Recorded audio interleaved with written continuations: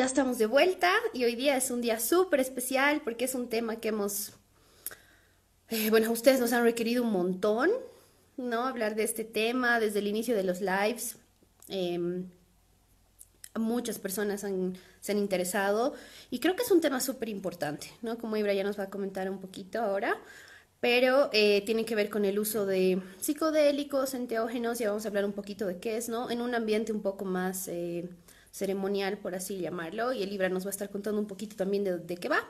Así que la dinámica va a ser la de los últimos lives, que es que nos vamos a conectar, el Libra nos va a exponer, yo le voy a ir haciendo algunas preguntas y ustedes pueden ir preguntando, ¿no? En el chat y yo voy a ir anotando sus preguntas para no cortarle el hilo a Libra y para que vayamos en orden. Entonces al final, unos 15 minutos nos vamos a dar para contestar todas las preguntas.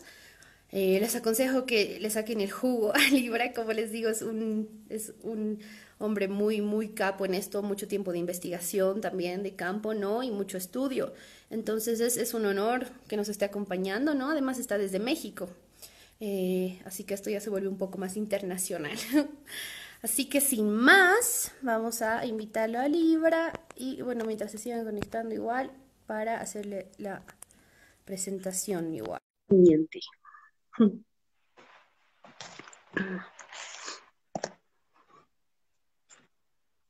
Vamos a esperar. Ahí estamos. Buenas, Ibra. Hola, dale.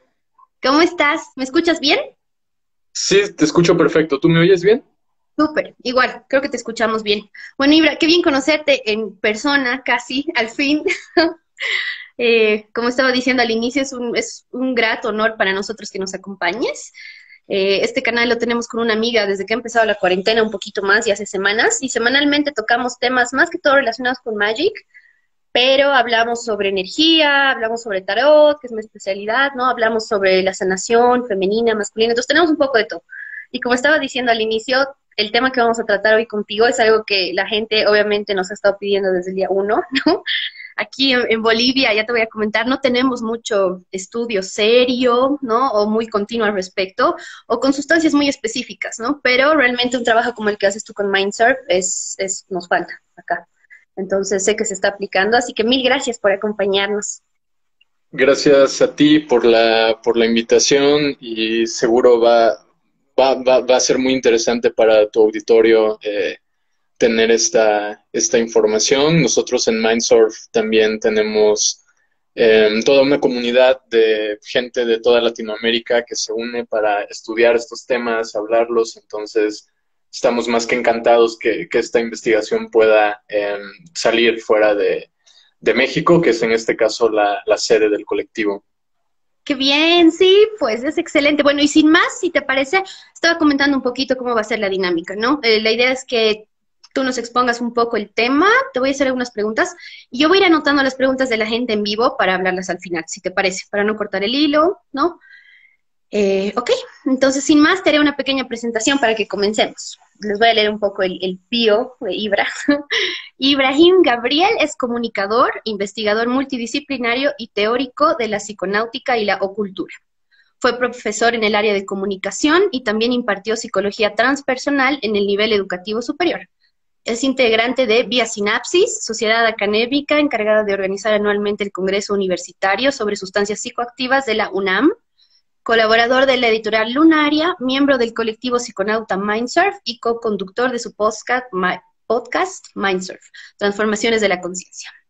Entonces, wow, libre, realmente como decía, ahí con un, ahí ya tenemos más claro todo el trabajo que has estado haciendo y realmente eres miembro de tantos colectivos tan buenos que han estado trabajando, que mismo y es Mindsurf, ¿no? Que ha, que ha logrado captar muchísimo público en Facebook por lo menos. Entonces, bueno, con esa presentación quisiera que nos empieces a contar un poquito tal vez qué son los enteógenos, ¿no? Un poco para la gente que no tiene idea de qué va esto. Claro que sí, perfecto. Pues bueno, de entrada, eh, los enteógenos es tan solo un nombre más que reciben los psicodélicos. Ahora, ¿cuál es la diferencia entre nombrar los psicodélicos o nombrar los enteógenos? Bueno, eh, radica en la finalidad, en la finalidad de la práctica, de, por qué se está, se está haciendo lo que se está haciendo.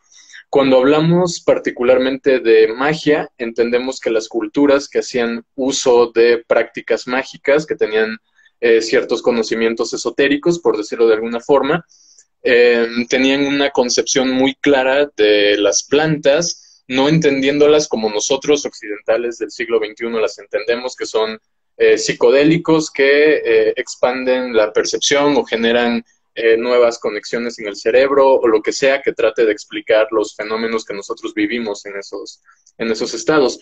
Para las culturas mágicas, estas sustancias eran directamente sacramentos, es decir, eh, eh, elementos que comunican a la persona. Eh, en las culturas mágicas tenemos al mago, al chamán, al sacerdote, las brujas, por supuesto, toda la tradición medieval de las brujas que hacían uso de diferentes plantas para, para elevar su estado de conciencia, etc.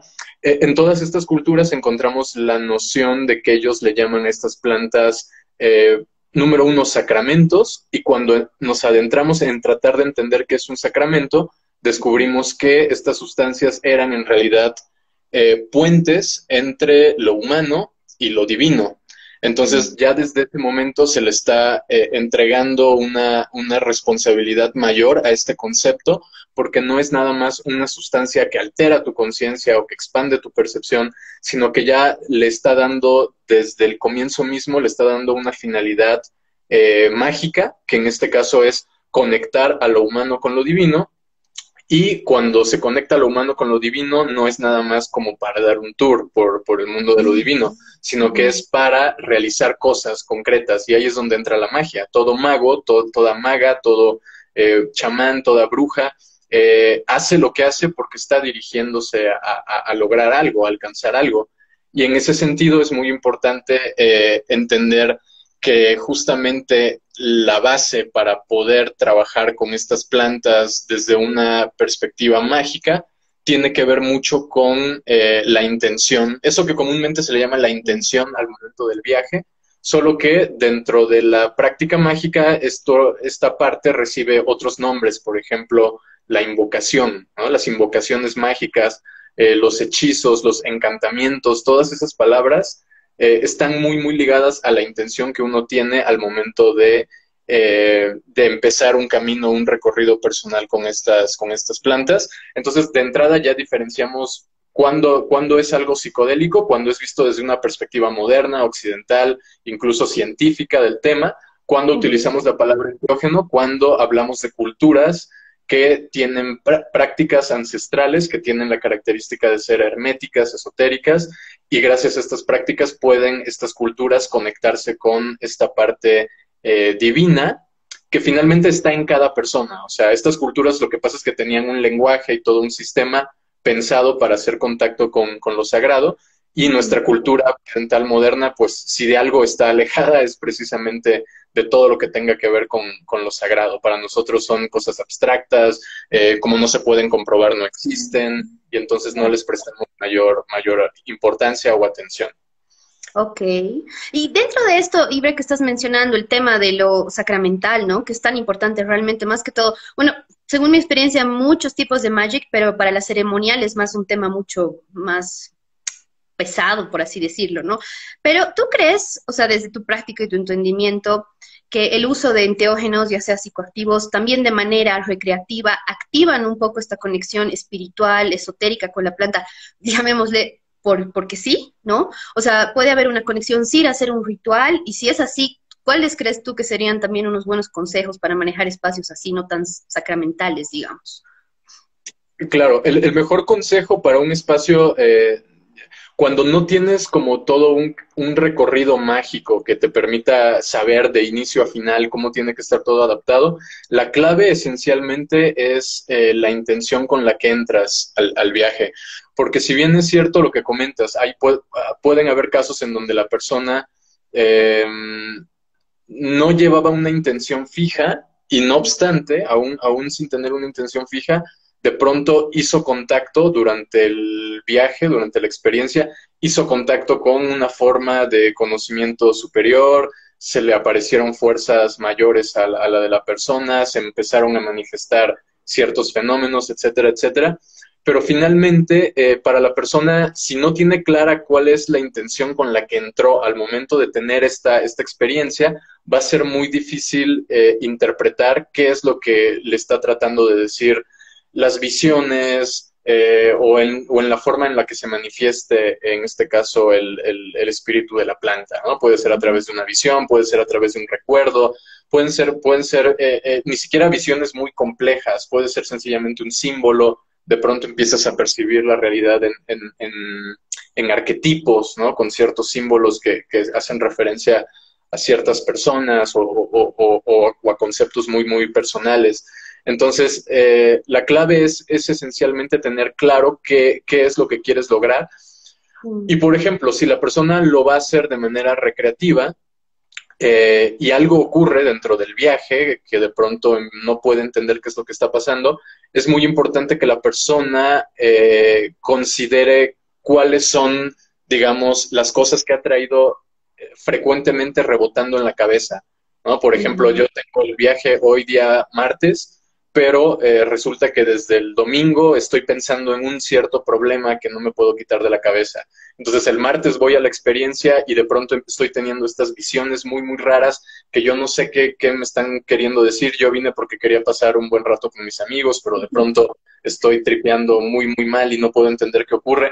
Bien, en ese caso, la mejor pista para tratar de, de, de entender qué es lo que está ocurriendo es irse a lo que ha habido rebotando en el psiquismo, en la mente, los últimos, los últimos días. Por eso es que el tema de la intención es tan importante, porque una vez que tú, eh, si tú, por ejemplo, volvemos al mismo ejemplo, si tú estás consciente de cuál es el problema que tienes en la cabeza rebotando y ese día, al momento de la experiencia, decides enfocar eh, todo lo que te va a venir, las, las, eh, las imágenes, los, los, pensamientos, las palabras, etcétera, todo esto lo empiezas a orientar para interpretar o para resolver el problema que traes en la cabeza, entonces ya se vuelve mucho más fácil entender esas visiones que a priori podrían parecer muy eh, lejanas a, a, la cultura propia, etcétera, de pronto ya empiezan a cobrar un determinado sentido porque estamos poniendo en primer plano a nosotros en lugar de, eh,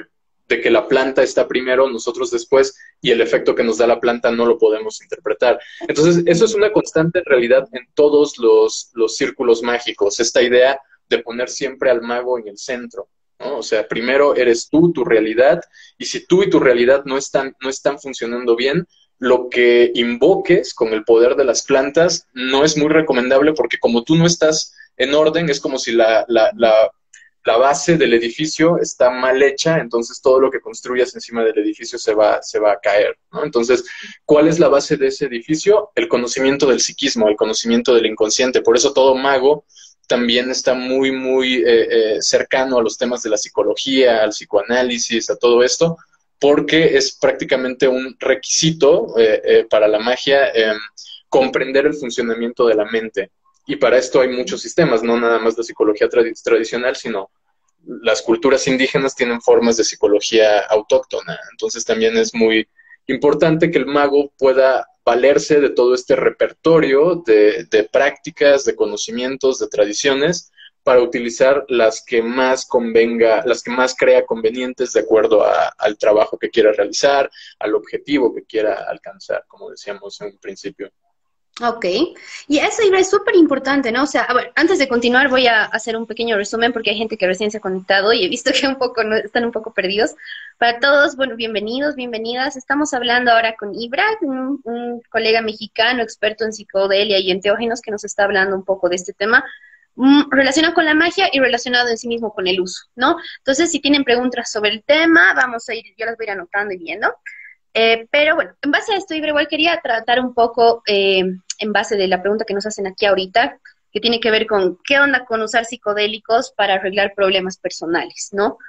Y dentro de eso, también yo quería preguntarte un poco, tal vez va con la respuesta, ¿qué pasa cuando tú tienes, o alguno de nosotros tiene una experiencia negativa, como la que acabas de mencionar con algún psicodélico, pero quiere abonarse, no quiere continuar? Porque hay gente, a mí me ha pasado, por ejemplo, una muy mala experiencia hace unos años con hongos, y eso me ha evitado mucho eh, volver a contactarme hasta ahora, por ejemplo. Ya son dos años casi, y yo sigo así medio, porque me ha como dices, me ha, me ha, sonado, digamos, ¿no? A pesar que el set, el setting y todo lo he planeado muy bien, ¿no? Era algo que tenía que aprender, pero he ido a un lugar muy oscuro, que incluso yo sentí que no tenía que ir, ¿no? Entonces ahí la interdimensionalidad y todo esto. Pero, ¿qué consejos nos podrías dar un poco tú para trabajar esto de cuando uno se pelea, ¿no? O tiene un mal viaje, por ejemplo.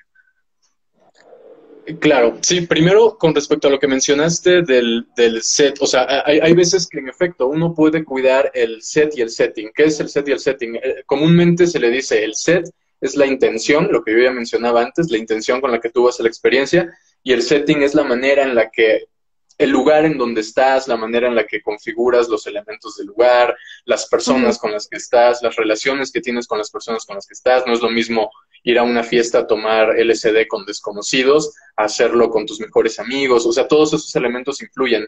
Pero ¿qué pasa cuando lo que tú mencionas? Ah, em, uno cree que cuida el set porque dice, ah, la intención es voy a trabajar este tal problema personal que tengo. Y trabajas el setting y aún así la experiencia eh, resulta ser muy fuerte para, para, lo que uno espera.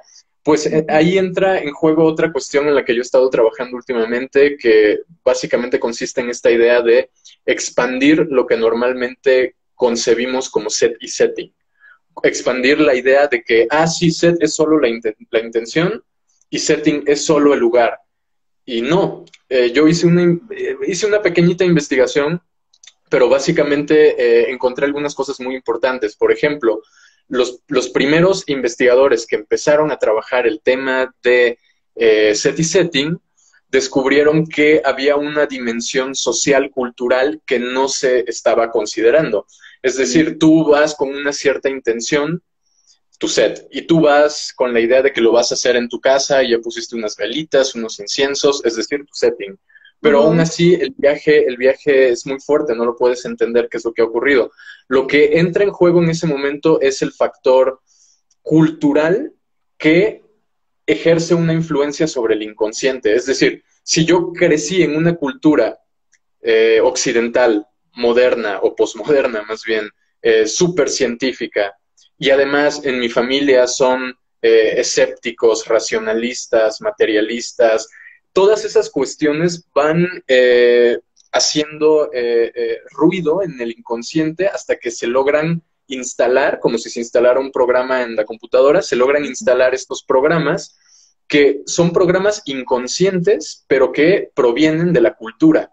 Y esto es un, elemento muy importante porque prácticamente nos da la pauta para poder expandir el set. Primero el set y luego el setting. ¿En qué consistiría esta expansión del set? En que mi recomendación para cualquier persona que quiera trabajar este tema desde una perspectiva de sanar problemas o hacer práctica de trabajo mágico, lo que sea, tienes que eh, desinstalar el sistema cultural previo, que es el sistema cultural masivo, dominante de la realidad del mundo ordinario, y tienes que instalar un nuevo sistema, un, que, este nuevo sistema que instales tiene que tener la característica fundamental de que dentro de ese sistema se acepten los fenómenos que ocurren, por ejemplo, dentro, de la, dentro del mundo de los enteógenos. Por ejemplo, las visiones o las canalizaciones o el, eh, las, sincronicidades, o el hecho de que ocurran fenómenos, vamos a llamarle paranormales, ¿no? O experiencias extracorpóreas. Todos estos fenómenos, si una persona sale eh, de estas experiencias sin haber cambiado su sistema cultural, al día siguiente de la experiencia está hasta más confundida que el día antes de hacerla. O sea, la experiencia muchas veces a, a, muchas personas les puede, las puede dejar en un peor lugar que cuando comenzaron la experiencia. Por eso es muy importante este proceso de, de construcción del, del, mito cultural con el que se está viendo el, el fenómeno. Eh, hay un, un, investigador en los años 70, 60, en realidad, eh, John Lilly, que él estuvo haciendo un trabajo increíble con tanques de aislamiento, estos tanques que, que aíslan eh, donde estás flotando, tanques de flotación, donde no tiene Exacto, sí, donde no tienes ningún estímulo externo. Y él aparte de esos trabajos estuvo experimentando con LSD y logró eh, algunos casos muy, muy importantes de comunicación telepática con delfines. Él, fue uno de los investigadores en descubrir esto. Y él habla de un concepto que justamente yo estoy como retomando para esta teoría expandida que quiero eh, proponer del SETI setting. Él inventó este concepto que se llama metaprogramación. Y la, la metaprogramación es eh, programar la programación.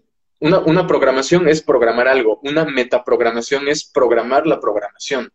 O sea, básicamente permitirle a uno la capacidad de elegir qué sistema operativo, qué sistema cultural quiere eh, entender, apropiarse de ese sistema y después cuando uno entre a hacer sus prácticas, hacer, interpretarlas desde este nuevo sistema que tú tienes. Es decir, si yo me comprometí a un camino chamánico, ok, toda la experiencia que yo tuve la tengo que interpretar en función de mis espíritus, mis, espíritus de poder, mis animales aliados, mis animales totémicos, eh, en fin, de, todas las herramientas que en este caso el chamanismo me da para darle forma, para darle sentido a esta experiencia.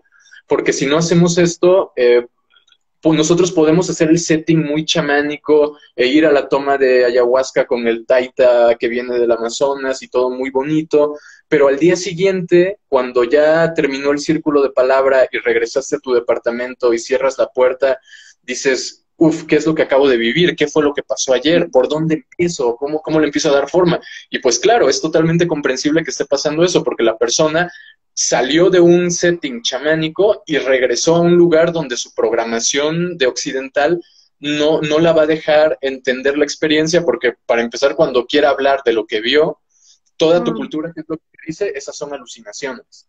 Son alucinaciones provocadas por el químico de la droga en tu cerebro, entonces lo que estás viendo son visiones, cosas que no existen, y comienza el descrédito y la ridiculización muchas veces de la experiencia que para la persona fue muy valiosa y muy importante, pero que no está teniendo un apoyo de fuera que le permita entenderla. Entonces, este concepto de metaprogramación es vital. Ahora, quizá el, tu auditorio se pregunte, bueno, ¿y cómo le hago para metaprogramar? ¿no?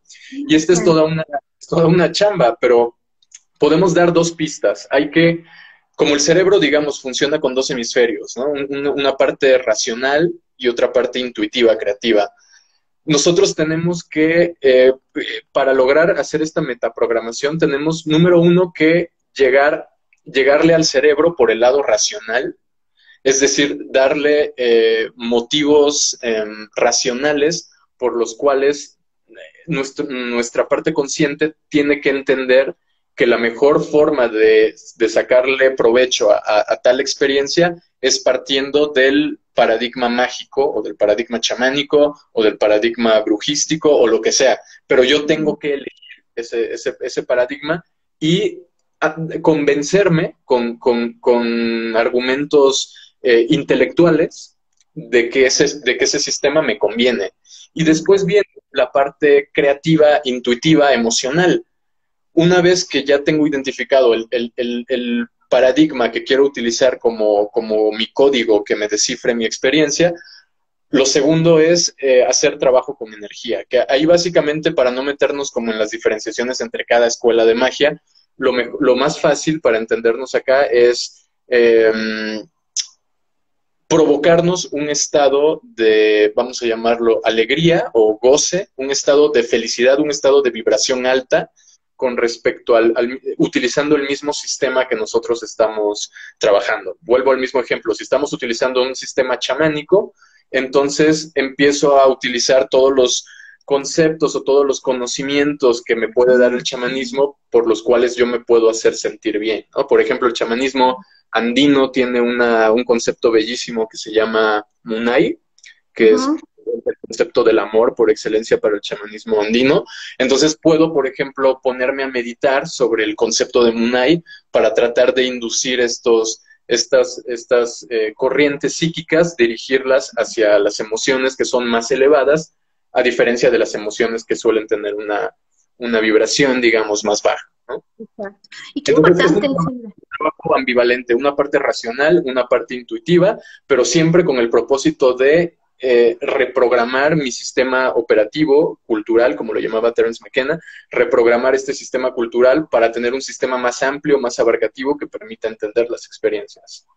Claro, y eso es así, yo lo veo un poco así, obviamente desde la práctica es intenso, pero también lo veo como un poco luchar contra la fuerza del inconsciente colectivo que nos rige de alguna manera, ¿no? O sea, y claro, volviendo a la palabra inconsciente, nos rige de manera inconsciente, ¿no? Pero hay tanto, o sea, desde la televisión, el internet, ¿no? El estar expuesto todos los días a la radio, a lo que sea, realmente son programaciones profundas. Y creo que igual es bien bonito lo que dices, porque cada camino mágico serio, igual según mi experiencia, te pide esto como de entrada, ¿no? O sea, los primeros pasos, escalones, es desprogramarte de lo cotidiano y de la basura que tenemos en la cabeza para empezar a hacer magia, ¿no? Y ahí mucha gente que nos preguntaba en otros lives, ¿no? ¿Cómo yo sé cuando es verdad lo que estoy sintiendo? O versus eso, estoy alucinando o tengo un episodio psicótico, ¿no? Estoy ahí así loqueando. Y creo que lo que dices de la sensación y la objetivo de para qué estás haciendo esto, ¿no? Por eso también este live era tan importante para mí, para la gente que nos sigue y nos está viendo, porque aquí hay mucho, por ejemplo, tú debes conocer por los estudios, pero aquí en, Bolivia tenemos por el Amazonas, por los Andes, tenemos mucha variedad de plantas eh, de, poder, ¿no? Enteógenos. Y los más fuertes, donde yo vivo, que es La Paz, tenemos mucho el San Pedro, ¿no? El, el maestro San Pedro, que es muy parecido, son primos, creo, con el de ustedes, el peyote, ¿no?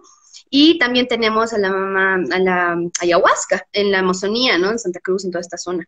Entonces, aquí mucha gente usa estas ambas plantas, más que todo el San Pedro, de manera súper recreativa, porque de verdad sales al cerro, yo salgo de mi casa, camino tres cuadras y encuentro, ¿no? Entonces lo corto, lo preparo, me lo tomo y ya está, ¿no? Entonces yo desde mi adolescencia he tenido experiencias personales con amigos, a medida que he evolucionando, un poco vamos a llamarlos imprudentes, ¿no? Respecto a esto, porque es, como te digo, tan fácil conseguir. Y de hecho se ha presentado un riesgo porque un tiempo nuestra alcaldía le ha, inyectado eh, una sustancia a los cactus para que se vuelvan, para quitarles la parte psicoactiva. ¿En serio? Sí, eso era así un boom hace tiempo. Y mucha gente que yo conocía, más bien a mí, a mí no me ha llegado, pero gente que cortaba y consumía se ha llegado a enfermar, obviamente, ¿no? Porque qué cosa le meterán para, o sea, un acto, me parece un atentado público de alguna manera hacer eso, ¿no? Pero así terrible. No sé si ahora sigue pasando, yo tengo mucho más cuidado. Pero esta idea de, y bueno, con esto Ibra un poquito, ya tenemos varias preguntas que como les decía las vamos a ir respondiendo un poco al final porque hay mucho que hablar de esto, ¿no? Pero un poco para esto, hablando ya de las regiones y los temas de plantas, quisiera que nos comentes, por favor, qué tipos de enteógenos, no sé si en Sudamérica, a nivel mundo, ¿no? Son los más usados, conocidos, qué nombre tienen, una tal vez acción rápida, como una pequeña bio, ¿no? De cada enteógeno así de fuerza, digamos. Ok, al, ajá, al menos de, los, de las sustancias que son precisamente usadas como en, entornos mágicos, ceremoniales, pues en, voy a empezar un poco eh, partiendo de México, que es como la zona geográfica que tengo eh, acá más cercana, dominada, digamos.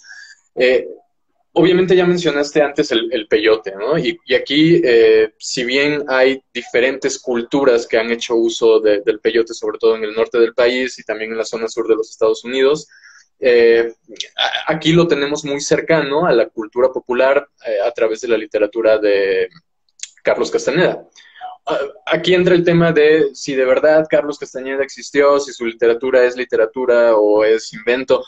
Al final, em, yo creo que eso es perderse un poco. O sea, yo he escuchado antropólogos, tuve la oportunidad de entrevistar hace un par de años a Michael Winkelmann, que es uno de los de las autoridades mundiales en, en neurochamanismo, es un antropólogo que también estudia el cerebro y todo esto.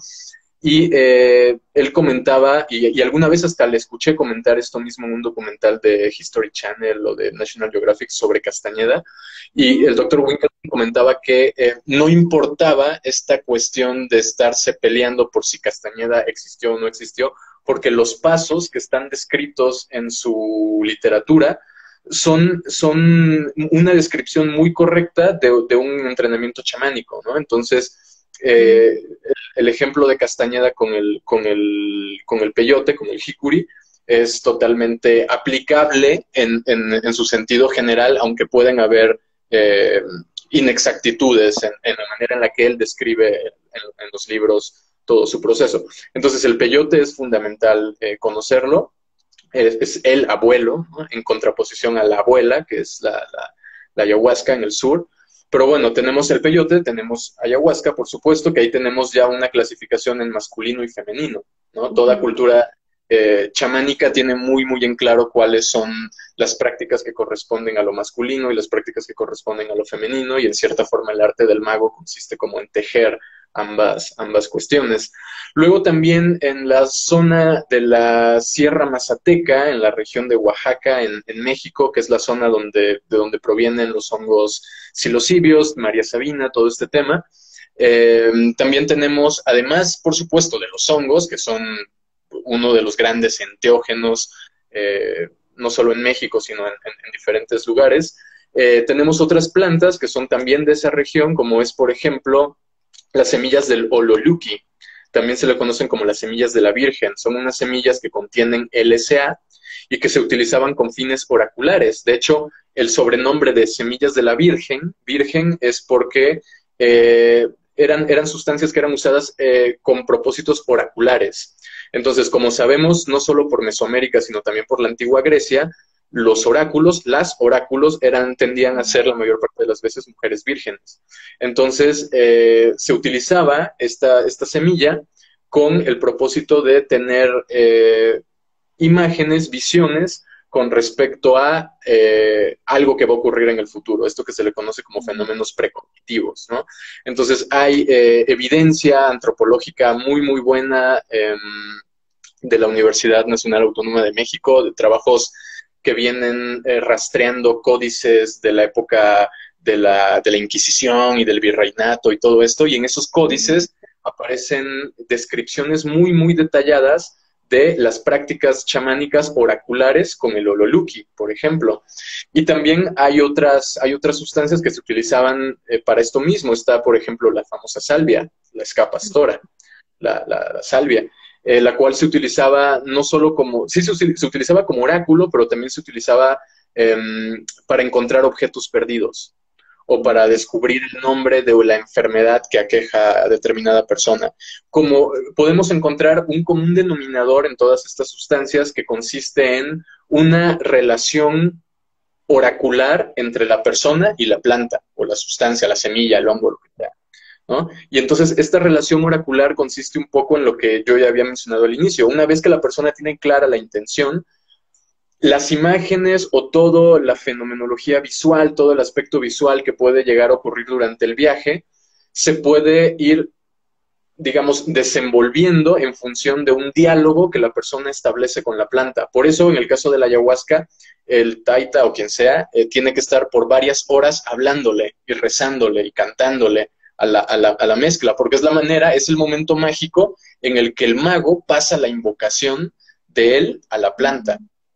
Entonces, la planta, digamos, está recibiendo la programación que el mago le quiere dar.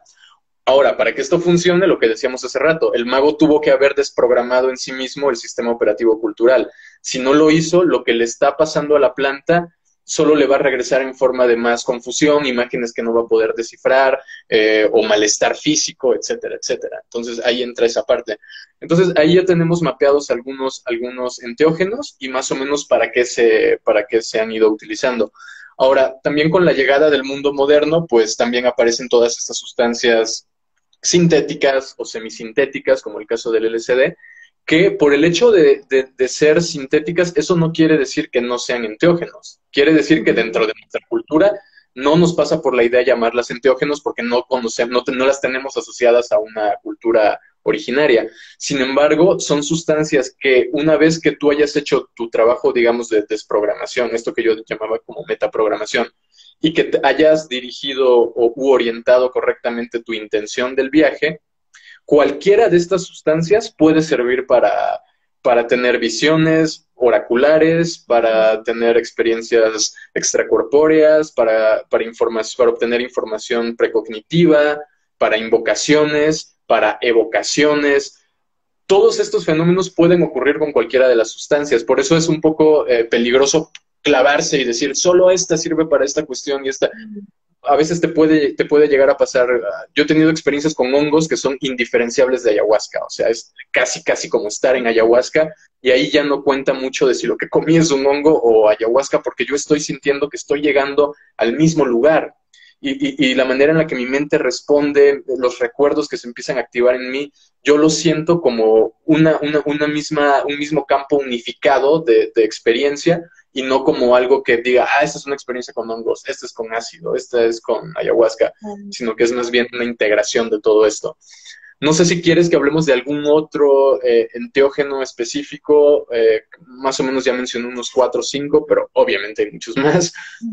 claro, son, no sé cuántos son, ¿no? O sea, de muchos libros que yo he leído de plantas de poder, realmente son enciclopedias que no acaban y no acaban, pero he visto que gran parte están, por ejemplo, en México, ¿no? Ustedes tienen la suerte de tener una gran variedad de, de enteógenos y también sobre, bueno, todo el tema también de lo, de lo químico, ¿no? Lo que hablaba, o sea, lo que está hecho desde la farmacia. Pero en esta, Ibra, un poquito, ¿qué piensas tú sobre la mm, conexión espiritual con un en LSD, por ejemplo, con ¿tú crees que hay una alma del LSD, llamémoslo egregor, llamémoslo alma colectiva o alma creada por sí misma, ¿no?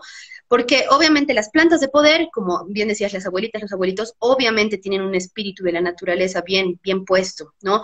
Pero lo que es LSD, incluso experiencias que pueden ser con éxtasis, con MDMA, por ejemplo, ¿no? Que no necesariamente son psicodélicas, pero sí son que generan movimiento. ¿Tú qué crees de esto? ¿Si hay un espíritu o no? ¿O cómo lo ves? Sí, e, e, esa pregunta me, a mí me inquietó por mucho tiempo, tanto así que eh, se la hice a la ayahuasca como una pregunta personal Buena forma de Sí, y, aparte ya había leído mucho, o sea, por ejemplo, eh, en algún momento eh, Terence McKenna le preguntó a Albert Hoffman cuál era su sustancia favorita, si el LSD o, los hongos, porque Hoffman también había trabajado con el tema de la psilocibina y de hecho la, la sintetizó y se la dio a probar a María Sabina y tal. Entonces Hoffman conocía las dos sustancias.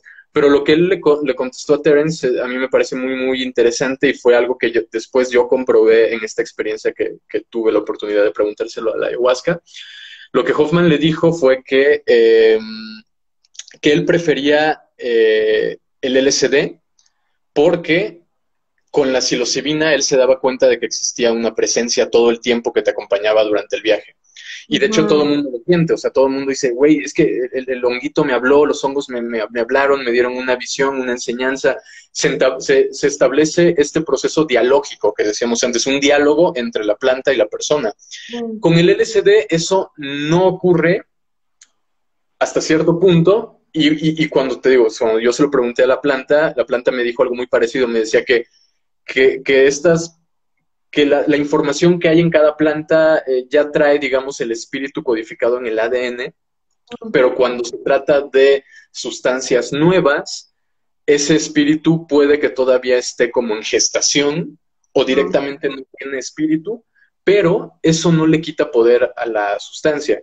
Es decir, si bien con el LSD no hay, no está esta entidad eh, que, que, dialoga contigo como si está en el caso del hongo, el LSD acepta también instrucciones. Y si tú llevas el caos en la cabeza, el LSD te va a reproducir caos de una manera eh, fractálica, exponencial, hipercompleja, que solamente te va, a desorientar. Por eso, eh, todo lo que decíamos antes de la metaprogramación, aquí vuelve a, a cobrar, a cobrar fuerza. Al final, sí hay una, hay una ventaja que tienen estas plantas, que es que vienen acompañadas de sus entidades o de sus elementales o, de sus egregores, como bien dijiste, que eso es, eso es innegable y ahí está. Pero las sustancias nuevas también tienen esta, tienen esta capacidad de reproducir la información que tú pones en ellas, solo que lo van a hacer de una manera mucho más eh, desalmada, ¿no? Porque literalmente no tienen un alma que, las esté acompañando. Por eso el viaje un viaje con LSD te puede dar la misma enseñanza de un viaje con hongos, pero en el viaje con hongos vas a tener a estos, a, esta, a esta inteligencia dialogando contigo, narrándotelo, o en, el caso de la ayahuasca, que directamente sientes a una señora, sientes a la abuela, pues eh, acobijándote, protegiéndote, cuidándote, abrazándote, guiándote, diciendo, diciéndote que todo va a estar bien, etcétera, etcétera. Y puedes aprender lo mismo con el LSD o con el MDMA, pero lo vas a aprender de una manera en la que la, propia sustancia te va a pedir que eh, un poquito más de, que pongas más de tu parte, porque tú tienes que hacer esta, esta, otra labor de, de, atar los cabos, unir las ideas, entonces te exige un poquito más en ese sentido, eso no la vuelve ni mejor ni peor, sino que sencillamente son herramientas diferentes.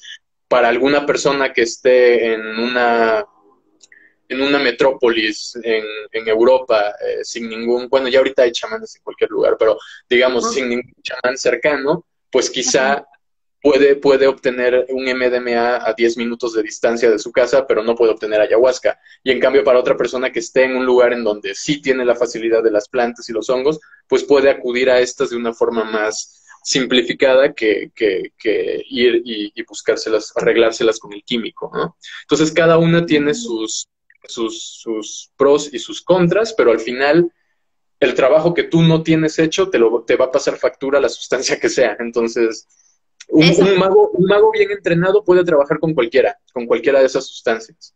Y eso es lo que hay que obligarnos a ser buenos magos más que expertos en el LSD o expertos en las anfetaminas o lo que sea. Y eso es súper importante porque la gente tiene mucho la tendencia como el café, ¿no? O la marihuana, que son de las sustancias más abusadas, ¿no? O sea, como espiritualmente también. La idea de que si consumes mucho mucho una sustancia de esta manera, esta es tu favorita porque te pega bien, o este tipo de marihuana, o esto, o esto, ¿no? Y te alejas mucho de, del tema de qué sientes, porque lo que me has dicho, Ibra, me parece súper importante el tema de cualquier cosa que tomes de este estilo te va a sonar de una u otra manera, ¿no? O sea, hay gente que que piensa que tomar LSD justamente como no es una planta, como no es ceremonial, como no estoy tomando porque por algo es un buen viaje y la voy a pasar chill, como dice, para divertirme, ¿no? Pero mucha gente aquí nos puede decir, te debe pasar a ti o, y a mí también, ¿no? De que realmente cualquier incluso mínimo tripo en este estado te genera un movimiento interno, psicológico, energético, ¿no? Y como dices, más aún cuando estás con problemas, conflictuado, con ideas ofuscadas, tal vez sensaciones de ira, de violencia, ¿no? Energías bajas, que esto te lo desatan de una manera muy negativa. Por eso también yo conozco tanta gente que eso, toma alguna planta en algún estado así y como un mal terapeuta, ¿no? O sea, te toca uno malo y juras que todos son iguales y nunca vas a volver porque la terapia no sirve para nada, digamos, ¿no? Creo que las plantas tienen una visión así un poco... Y la gente eso no se da cuenta del espíritu, ¿no? Y eso toda la gente que nos ve es súper importante que se den cuenta que cada vez que consumen algo de este estilo, están trabajando con una entidad, por más que no la llamen, ¿no? Por más que, como decimos, no hagan un ritual, la invoquen, están, le están abriendo la puerta de su cuerpo, creo, ¿no? Al, al, consumir una sustancia. Entonces, siempre tengan en cuenta esto, más aún en ambientes de fiesta, creo, ¿no? Un poco las raves, por ejemplo, que son lugares con la misma energía que se tornan oscuros por naturaleza, ¿no? Entonces, hay gente que realmente mal viaja un montón en raves, pero toma la misma sustancia en el campo y es el mejor viaje, ¿no? Entonces, ahí lo que Libra nos hablaba, por ejemplo, del tema del setting es súper importante, ¿no? Ok, Ibra. Entonces, bueno, creo que ya estamos. Estoy anotando todavía las preguntas. Eh, ahorita. he visto varias y están buenas las preguntas, ¿eh? Sí, están re buenas. Como tenemos que aquí hay mucho interés. O sea, la gente así está como, por favor, ayuda. Eh, espérame un ratito, estoy anotando esta más. Ya, entonces, como son varias, yo creo que ya vamos entrando. Si salen otros temas, igual lo seguimos hablando pero es realmente harta, hartas preguntas. Entonces nos va a abarcar tiempo, así que espera nada más. Eh, ya, a ver, la primera pregunta, Ibra, es, ¿qué piensas sobre el uso de cannabis para meditar? Es increíble, solo que el tema con el... Es muy, o sea, es una excelentísima herramienta para meditar y también para esto que comento de las prácticas oraculares. El cannabis tiene una, una aplicación oracular increíble lo mismo que con la meditación, muy poco aprovechada por, eh, por la relación que solemos tener nosotros occidentales con el cannabis. Es decir, los que fumamos, eh, aquí tengo mi pipa, fumamos todo el tiempo. Entonces, eh, hemos convertido una práctica que tiene que ser en ciertos momentos, lamentablemente la convertimos en hábito. Esa es una característica del psiquismo humano. Todo, todo psicólogo conductual, todo psicoanalista lo sabe. Todo, la, cualquier cosa nueva que aprendemos o que nos gusta, el principio del placer, a lo que, lo que sentimos afinidad, automáticamente lo volvemos hábito, ¿no? Entonces, este, pruebas un, un, refresco, no le hace bien a tu salud, pero te gusta el sabor y, y después todos los días tomas. Entonces lo conviertes en hábito. Lo mismo pasa con el cannabis, ¿no? Es una sustancia, yo he tenido varios momentos de mi vida donde la he dejado de consumir por meses y, me, propongo eh, consumirla únicamente cuando esté, por ejemplo, cuando tenga alguna pregunta muy concreta que necesite resolver y que ya le estuve dando muchas vueltas a nivel intelectual y no puedo llegar más allá a nivel intelectual, entonces necesito que la planta me ayude, pero haz de cuenta que para esto yo ya estuve una semana o dos semanas sin, sin fumarla. Entonces me acerco a la planta y, y, ahí puedes notar el potencial medicinal. O sea, realmente cuando no estás... Eh, sometiéndote a los efectos permanentemente con la sustancia y te permites hacerlo una vez a la semana o una vez al mes o una vez al año, eh, para, para, el caso es lo mismo, ahí es cuando realmente puedes sentir estas, eh, eh, estos efectos. Yo, yo me daba cuenta prácticamente, casi casi era como sentir la voz que me decía cuál de las dos respuestas en las que, en la, en la dicotomía en la que yo estaba, era la correcta, ¿no? Pero e, eso solamente aparecía cuando yo descansaba, cuando estoy fumando todo el tiempo y quiero hacer esas preguntas no funciona. Entonces, sí es una excelente herramienta para meditar, pero eh, necesitas hacer este trabajo previo antes, si no, este, o sea, de, desengancharte para poder realmente, hasta a nivel físico, para poder sentir la interacción con los cannabinoides y sentir los demás efectos, y entonces ya el efecto es muy, muy distinto. Pero mientras sea un hábito, es muy peligroso aconsejarlo porque realmente es como, es como un mecanismo de defensa, es como decir, sí, la utilizo para meditar, pero en realidad solo estoy reforzando mi consumo diario, ¿no? Entonces, por eso es muy peligroso decir, este, úsala para meditar si ya la usas todos los días, ¿no? Claro, o sea, creo que lo más importante ahí es hacerse un detox previo, como dices, ¿no? O sea, realmente darse una pausa, limpiarse. Y claro, como dices, tiene razón, porque es el mismo ruido diario de la planta, no te deja escucharla a fondo, ¿no? Si no le permites que un tiempo no esté en tu sistema también, ¿no? Esa es una buena, súper buena, buena, buen consejo, Ibra, porque aquí eso, ¿no? Es muy conocido la marihuana, el estado de calma que te induce y las propiedades terapéuticas, y es lo más hablado también a nivel incluso eh, social, ¿no? Considerando que en muchos países todavía es ilegal y todo, pero hay harto movimiento, más que todo con el tema del CBD y la sanación con temas de epilepsias, ¿no? Y temas de tan, tan importantes para la salud. Pero bueno, entonces ahí está el consejo de Libra, que es eso, si van a usar la WIT para meditar, háganlo con, con, respeto, creo yo, ¿no? Yo, a mí me gusta llamarle así, o sea, que es darse espacios y como si estuvieran tratando con alguien, ¿no? Que no han visto hace tiempo, que quieren dar una distancia y retomar. Ok, súper. Entonces, a ver, otra pregunta que tenemos es, ¿qué, ¿qué nos aconsejarías tú como alguna preparación o consejos para tomar justamente a la ayahuasquita, a la abuelita? Ok, con, con ayahuasca yo sí soy un poco conservador en el sentido de, no, nunca hacerla sola. O sea, hay ciertas sustancias que, yo considero no es buena idea decirle a la gente que lo hagan solos. en esa, entre esas sustancias pongo eh, tres principalmente. La salvia divinorum. Los extractos de salvia divinorum son muy potentes y te pueden llegar a engañar al, al, al nivel de que olvidas de que fumaste salvia divinorum. Entonces, cuando tú estás en el efecto, tú no recuerdas que fumaste. Y, puedes te pueden pasar muchos accidentes, ¿no? Entonces, nunca, lo hagan solos. Otra sustancia es el 5-DMT, la medicina del Eh, es algo demasiado potente, te desactiva corporalmente, eh, quedas tirado los minutos en los que estás teniendo la experiencia, entonces no puedes hacerlo solo, tienes que estar con alguien que vea que no te estés mordiendo la lengua, con alguien que vea que no te golpes, que no te golpes cuando te, cuando te tiras. O sea, ahí tienen que haber una serie de cuidados. Y la otra es precisamente la ayahuasca. Eh, yo una vez lo hice, yo una vez con unos amigos conseguimos por internet los, los compuestos, el preparado, eh, lo hicimos en la cocina del departamento y tuvimos la experiencia. Ellos no tuvieron experiencia visionaria, yo tuve una experiencia muy, muy ligera pero eh, después tuve la oportunidad de hacerlo ya con taitas de todos los países del Amazonas, y, me ha tocado ver eh, cosas muy fuertes, ¿no? Esto, esto que en el, en el argot de los que estamos en, en, este mundillo le decimos los exorcismos, ¿no? O sea, cuando la gente se pone muy, muy mal y, y tienen que estar haciendo limpias energéticas y también un poco de trabajo, trabajo de integración psicológico para que la persona entienda qué es lo que está viviendo. Entonces, ayahuasca tiende a ser muy, muy fuerte. Eh, yo sí soy de la idea de elegir, elegir muy bien tu chamán, tu facilitador. No tiene por qué ser un chamán, también hay facilitadores, gente entrenada en, eh, medicina intercultural, etnopsicología, diferentes líneas de pensamiento que trabajan tanto con el conocimiento tradicional como con líneas más modernas de psicoterapia y hacen un trabajo excelente, genial, muchas veces hasta más, más eh, amigable con muchos occidentales que no les gusta el, rollo chamánico, por ejemplo, ¿no?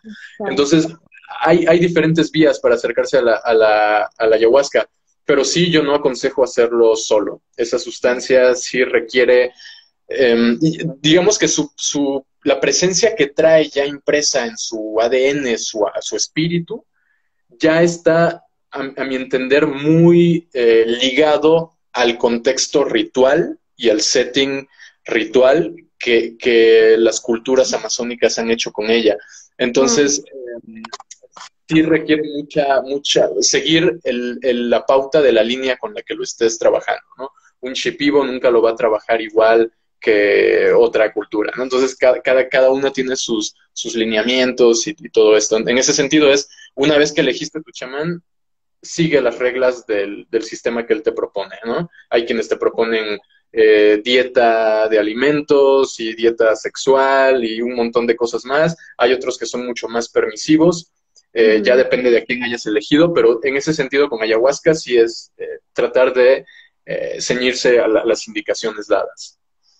Claro, y como dices, porque hay un tema aquí bien importante que me parece mencionar, que no hemos hablado, pero podemos hablar ahora, del tema de la afectación neuro, neuroquímica del cerebro en cuanto a los psicodélicos, ¿no?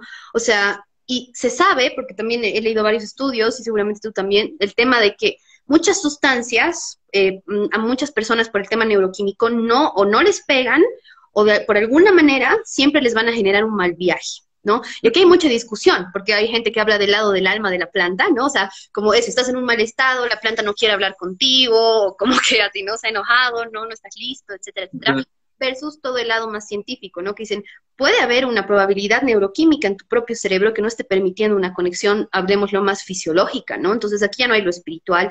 ¿Tú, Ibra, conoces o sabrías cómo, no sé si ahora existe una manera de darte cuenta de esto, si hay gente que lo está estudiando, ¿no? Aquí en el grupo en el que estás, o sea, cómo diferenciar y trabajar la neuroquímica personal de cada uno para que sea más placentera la experiencia y sin riesgo también, ¿no? Intoxicaciones, episodios fuertes.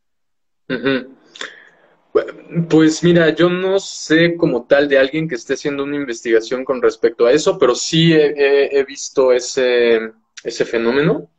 Y hay, hay, un par de datos que pueden servir acá un poco. Eh, son más bien como de carácter anecdótico, pero, pero funcionan. Uno es eh, algo que comenta Terence McKenna, que es uno de los grandes estudiosos del DMT y de la ayahuasca también. Eh, un dato que él menciona en sus libros y que después eh, casualmente se comprobó gracias a la investigación que hizo Rick Strassman. Rick Strassman fue este, es este psiquiatra eh, estadounidense que fue quien comenzó a, reabrió la investigación con DMT en los noventas en la Universidad de Nuevo México. Y bueno, lo que decía Terence y que después confirmó Rick Strassman es que hay aproximadamente un 5% de las personas que tienen experiencia con DMT, hay que recordar que la ayahuasca, uno de sus componentes es el DMT, 5% de las personas que tienen esta experiencia, eh, por alguna razón desconocida, imagínate, desconocida para expertos como Terence McKenna o como Rick Strassman, por alguna razón desconocida, es un 5% de la gente no siente eh, efectos con, con esta molécula. Entonces, es ahí, ese es un dato muy, muy eh, importante, que, que, digno de estudio, qué está pasando en el cerebro de este 5% de la gente que no tiene estas experiencias. Y el otro dato, que también es como muy anecdótico y que está totalmente ligado a mi experiencia, a lo que yo he visto, pero que siempre que lo comparto con otras personas están de acuerdo en este mismo comentario, es esta idea de que eh, por alguna razón, las personas que fuman marihuana cotidianamente tienen un problema horrible para sintonizar a nivel visión con ayahuasca. Y entonces ya entran estas interpretaciones como lo que tú mencionaste. Quizá la planta no quiere hablar contigo porque estás haciendo algo. Y en cierta forma tiene todo el sentido del mundo. O sea, si tú no estás haciendo la parte de tu tarea que te corresponde, ¿por qué habría la planta de tomarte en serio y mostrarte la parte de tu tarea que no estás haciendo? Además de lo que la planta en sí te tendría que mostrar como el mensaje, el mensaje esencial de la experiencia, además quieres que la planta te diga, oye, pero ¿por qué estás, sabes? O sea, es como, como, una, como un regaño extra que, te hace la planta por el hecho de no estarte guiando adecuadamente hacia la experiencia. Eso lo he podido ver y comprobar en muchos casos, ¿no? El tema de, que la gente que consume cannabis. Es más, o sea, hasta a mí me pasó en mi primera experiencia con ayahuasca, yo en esa época fumaba todo el tiempo y recuerdo que tuve cinco minutos de visiones, así de, de serpientes color neón tridimensionales enfrente de mí danzando atrás del chamán, al ritmo, al ritmo que llevaba el chamán. Aparte, fue una escena así bellísima, increíble. Pero después de esos cinco minutos, desaparecieron las visiones y no volví a tener nada en toda la noche. Pero claro, o sea, yo una parte de mí también sabía que, tenía que ver con mi consumo irresponsable en ese momento.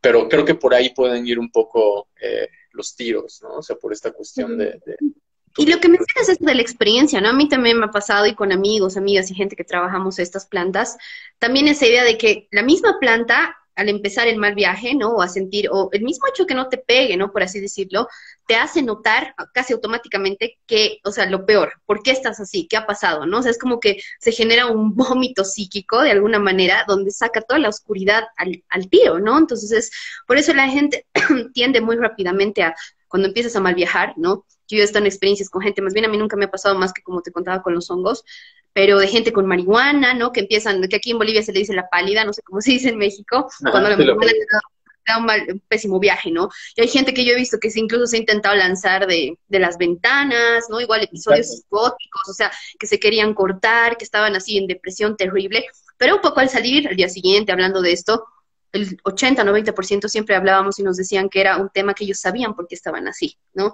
Y que ha sido justamente un poco respuesta. Un consejo para todos los que nos están viendo igual respecto a esto, esto es bien como ir a terapia, ¿no? O sea, de una manera también, o sea, yo siempre pongo su paralelo porque es también lo que hago, pero lo veo súper igual, que uno si va a terapia sin saber qué quiere trabajar o obligado, ¿no?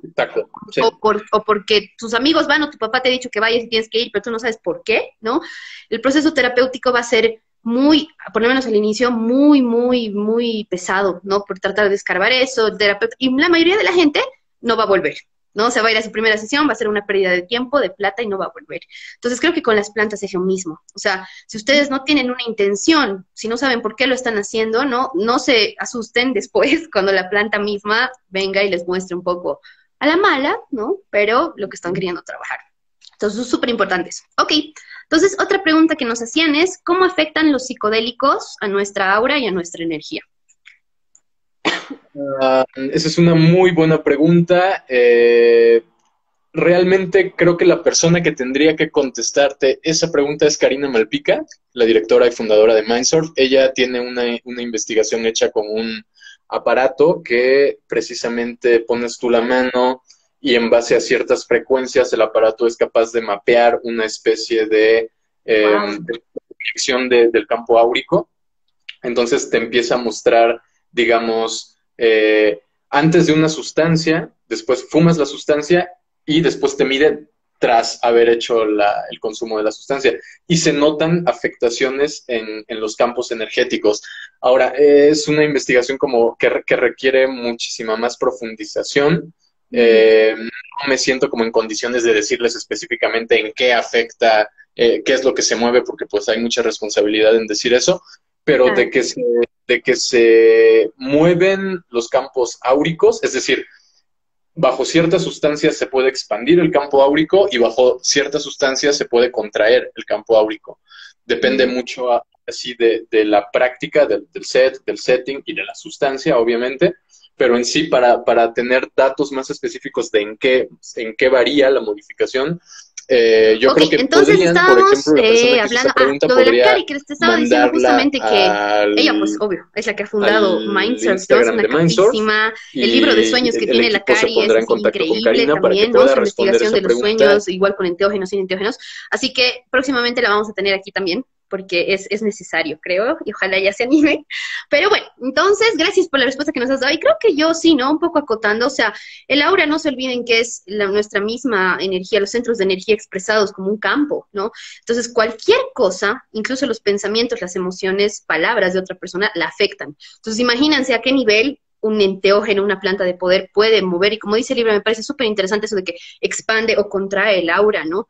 Pero eso ya es para hacer también un trabajo mucho más de campo investigatorio a los que les interese, ¿no? O sea, a mí me gusta mucho como buena bruja tener obviamente una bitácora de todo, pero tengo una parte de todos mis procesos con psicodélicos, por ejemplo, ¿no? Como un diario, las tomas que he hecho y todo. Y también les recomiendo que manejen eso si son gente que consume de manera mm, no seguida, ¿no? O con fines de sanación, de búsqueda, de todo esto, porque a, a, mi caso me ha ayudado un montón a ver muchas veces que una sesión de ayahuasca que me ha trabajado algo, cinco años después que he vuelto a tomar ayahuasca, ese tema seguía anidado y me lo ha seguido trabajando, ¿no? Entonces, cómo las plantas de poder también nos hacen cierta, igual, trabajo terapéutico de seguimiento, ¿no?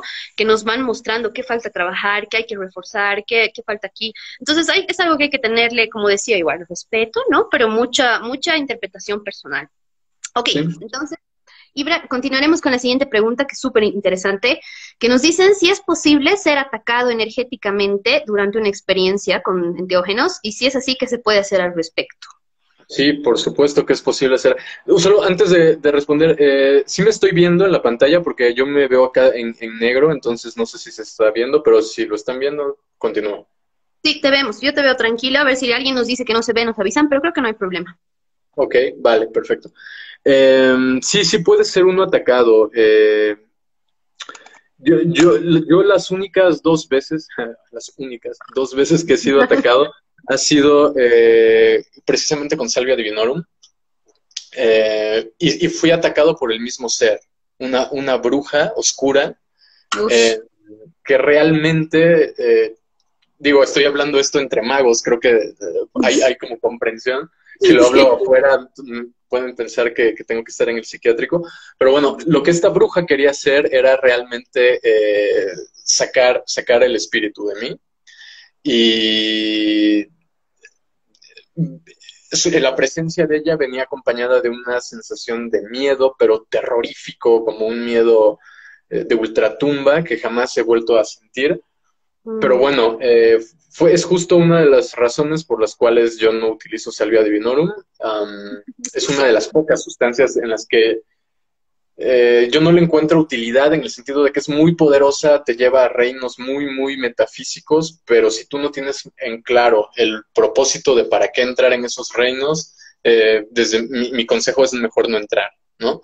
Em, ¿Qué es lo que uno puede hacer? Ahí es donde ya entra la parte de, la parte más técnica, que tiene que ver con ciertos trabajos de energía que es importante que uno, uno haga. El primer trabajo de energía es lo que ya se mencionó, la invocación, lo que tú vas a, invocar para abrir la ceremonia. Eso, eso es como lo más importante. En estas experiencias con Salvia fueron hace ya varios años, yo no había hecho ni el más mínimo trabajo de energía ni trabajo de invocación, entonces también es comprensible que yo haya abierto una puerta sin saber a dónde me llevaba lo que había del otro lado de la puerta, ¿no? Entonces me encontré con esta bruja, varios meses después me volví a encontrar con la misma bruja, y fueron como experiencias eh, muy, muy fuertes. Pero precisamente para tratar de evitar que esas situaciones vuelvan a repetirse, hay que cuidar mucho lo que es la, invocación al momento de abrir cualquier eh, espacio energético. Después de la invocación, también es importante que uno se proteja y aquí hay diferentes líneas de, trabajo. Una de las líneas más fáciles es... Em, la visualización. Es una de las más fáciles, entre comillas, y de las más efectivas. Eh, en este sentido, es muy recomendable las visualizaciones de esferas de luz que se expanden. Eso, eh, y crear burbujas de esferas energéticas alrededor de cada uno.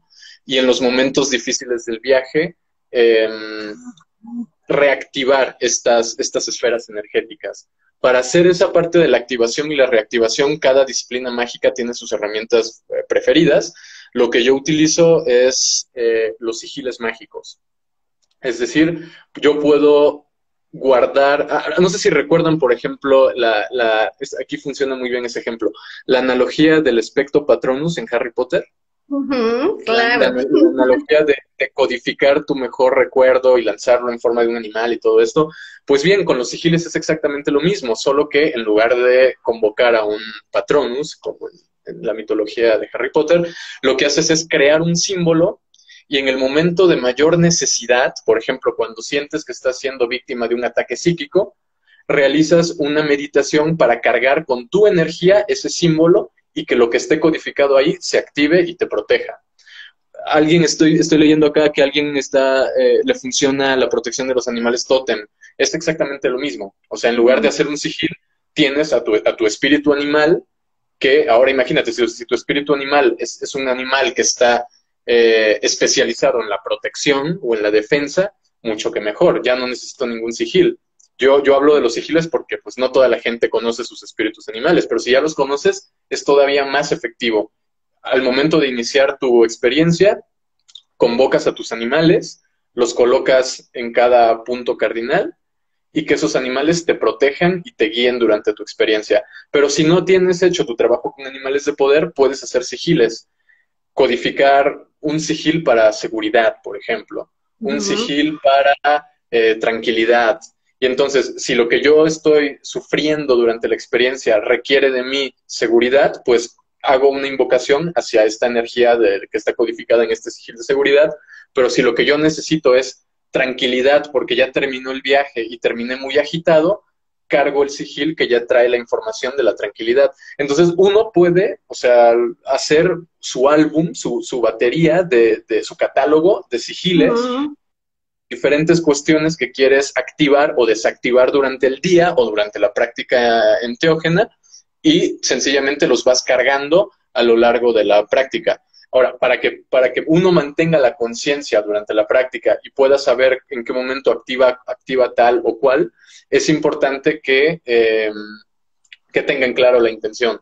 Lo que decíamos desde el inicio, por eso quizá a veces soy como muy repetitivo en eso, pero es que eso es lo más importante, porque si no tienes claro la intención, comienza el viaje, comienzan las visiones y no, no, te, no te acuerdas de andar activando sigiles, o sea, sencillamente te dejas llevar por la intención de lo que estás haciendo y al otro día, si bien te va, recuerdas, ah, pues, ¿por qué no activé mi sigil? Eso me hubiera servido. Pero claro, no te estabas guiando eh, iniciáticamente o mágicamente durante la, durante la sesión, sino que solamente te estabas dejando ir en el, en el mal sentido de la, de la palabra.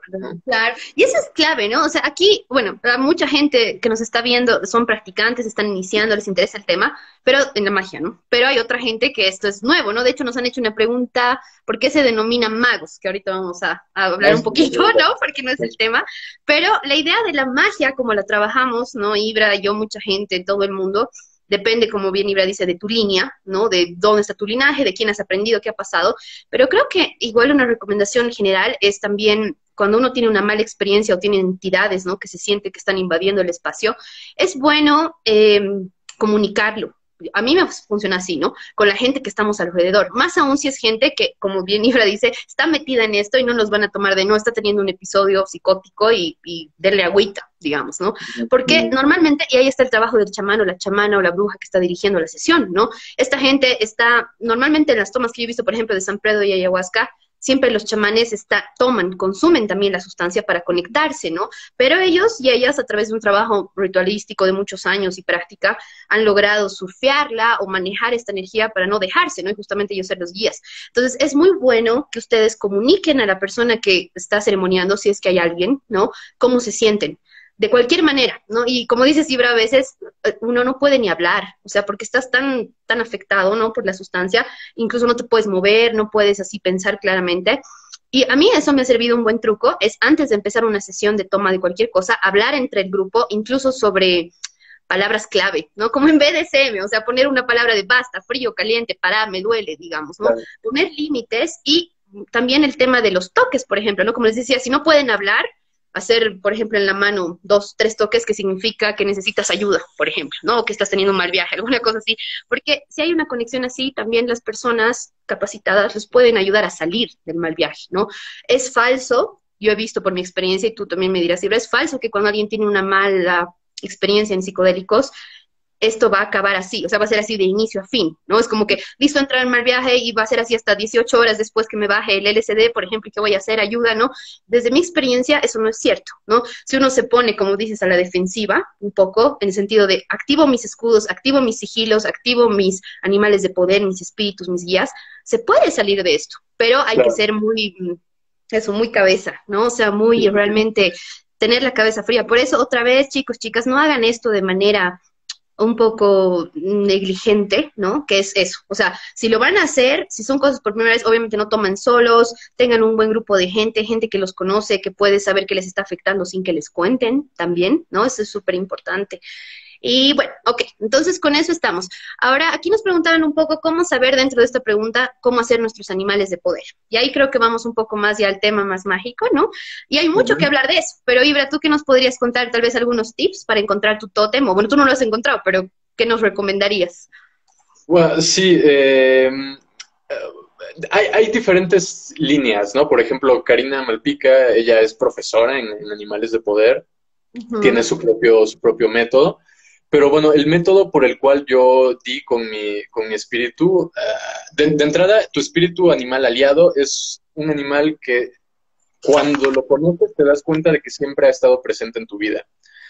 Ya sea a través del apodo que te ponían cuando ibas en la primaria y eras pequeño, o está presente porque las letras de ese animal se parecen a las letras de tu apellido o a las letras de tu nombre, o está presente sencillamente porque desde niño te gustaba ese animal y tenías eh, ropa con la figura del animal impresa, pero jamás te pasó por la mente que era tu animal de poder.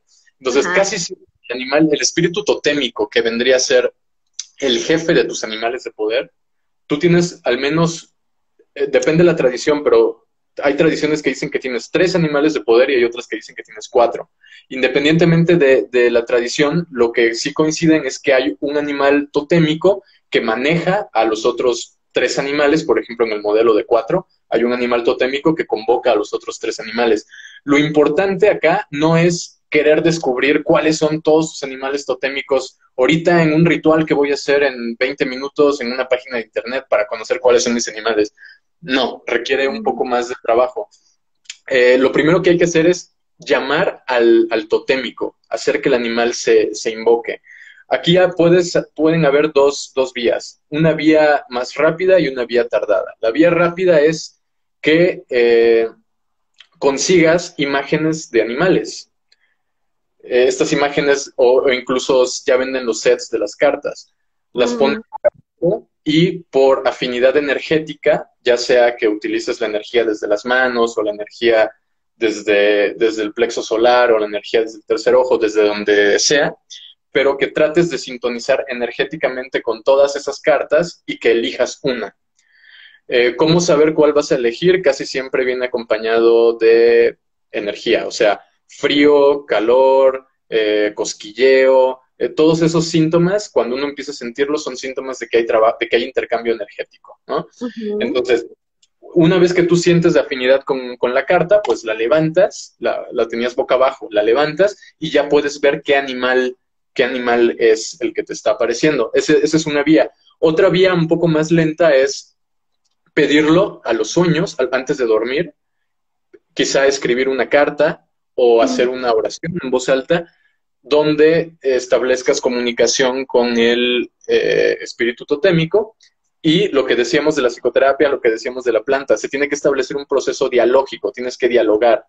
Entonces, durante, durante ese periodo en el que estás despierto, sientes sueño y te quedas dormido, ese periodo intermedio, esa zona liminal, es la que uno tiene que aprovechar para lanzar la pregunta mm. y entonces esperar. Número uno, pueden pasar varias cosas. Puede ser que durante el sueño sueñes con el animal, sueñes con la palabra del nombre del animal. Por ejemplo, conociste en el sueño a un señor que se llama el señor, eh, el señor tigre, ¿no? Aunque nunca apareció un tigre en el sueño, pero el señor se apellidaba, se apellidaba o se llamaba tigre, ok, te está hablando de un tigre.